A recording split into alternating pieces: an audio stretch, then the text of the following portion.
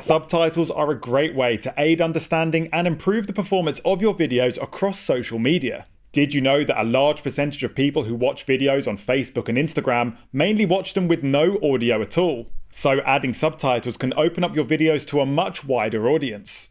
But adding subtitles and text manually is a very time consuming process. So luckily, Veed does it much, much faster and saves you a lot of time. In the previous lessons, we've already uploaded and started editing our first video.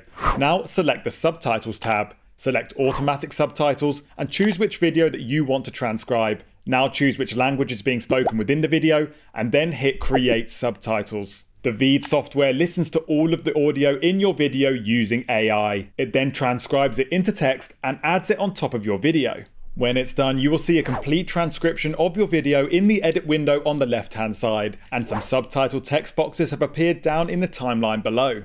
You can then manually customize and edit the text in your subtitles if you notice any errors, and using the top menu options, you can automatically translate your subtitles into other languages. You can also change the font, text size, and subtitle style, just like we did with the text boxes in the previous lesson. And there are also some really great presets in this menu which you can apply to all of your subtitles with just one click. You can also change where you want to see your subtitles in the playback window by clicking and dragging them around.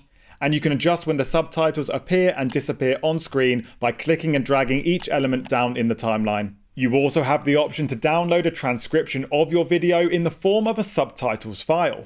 To download one, click the Options tab, choose your preferred format from the drop down menu, and then hit download. And this is what our video looks like with those automatic subtitles added on top. Hello everyone, my name is Ryan and welcome to my video. Today I want to show you some footage from my trip to the beach, which was a really great day out with some really amazing views. So I hope you enjoy it. In the next lesson, I'm going to show you how to improve your video further by adding some music and audio clips down into the timeline.